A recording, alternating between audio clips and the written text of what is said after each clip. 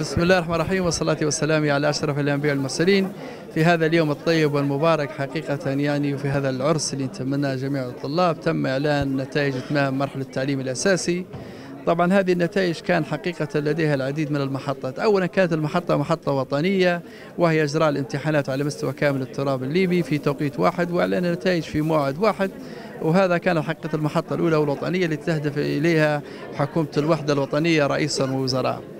المحطة الثانية كانت حقيقة لابد أن تجرى الامتحان في خطة احترازية وتباعد وفق التوصيات اللجان الطبية وجريت الامتحانات حقيقة باحترازية كاملة وبمناخ حقيقة كامل اللي نتمناه حقيقة أن يستمر على نفس المنوال يعني. واليوم بمشيئة بإذن الله تعالى وبتوفيق من الله سبحانه وتعالى استكمل هذا العرس بإعلان النتائج على مستوى التراب الليبي. نتمنى التوفيق لطلابنا نتمنى لهم اللي حلفهم الحظ ونجحوا واللي لم يحلفهم الحظ نتمنى يكون الدور الثاني هو حليفهم وشد رواحهم بإذن الله تعالى. ونبعث رسالة كوزارة التربية والتعليم بإذن الله تعالى. سوف نحاول تذليل جميع الصعاب أمام طلابنا على كافة مستوياتهم ومراحلهم وأينما وجدوا على كامل الرقعة الجغرافية في كامل التراب الليبي.